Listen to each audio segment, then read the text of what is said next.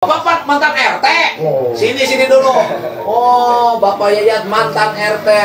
Oh. Mantan RT. Oh, Bal harus gagah Pak RT itu kebanggaan.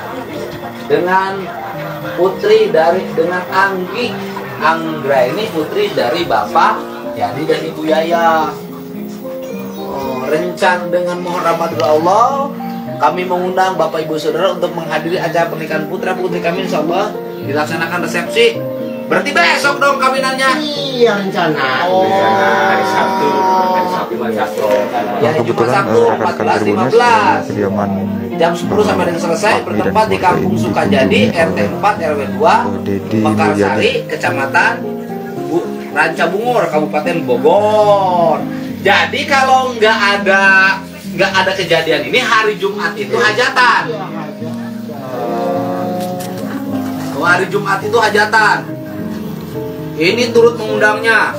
Oh, Bapak Ugan, almarhum orang tua kami. Loh, di sini mah orang udah meninggal turut mengundang. Katanya tuh bahwa katanya supaya bapak kamu tuh kan apa Menghargai. Ya gimana Pak orang udah meninggal turut mengundang? Yang diundangnya di alam kubur, dan eh, tadi eh, juga kami sempat berbincang dengan eh, Bapak Fahmi RT. yang mana dia mengatakan Bapak bahwa Ade, eh, dirinya Ismail, sudah merelakan Anggi eh, istrinya yang baru dinikahi satu hari ini Bos apa itu Bos Iwan? untuk eh, diceraikan. Oh, dan apabila gue. ingin dinikahkan dengan Bapak mantannya eh, Fahmi Tokoh juga masyarakat. bersedia. Dan juga eh, tokoh Fahmi tadi eh, Bapak menyampaikan bahwa Eh, dia Bapak- meminta kepada Bapak netizen untuk eh, Bapak tidak membuli, turut Anggi. Ah, istrinya coba yang, turut kabur.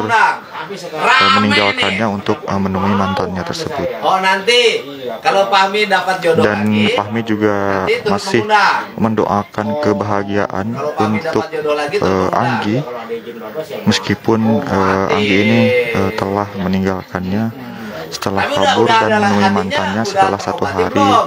menikah. Sedikit pulang sih pak itu Hah? baik eh, teman-teman baik. Sedikit? Pulang. Sudah mulai berkurang rasa kecewanya.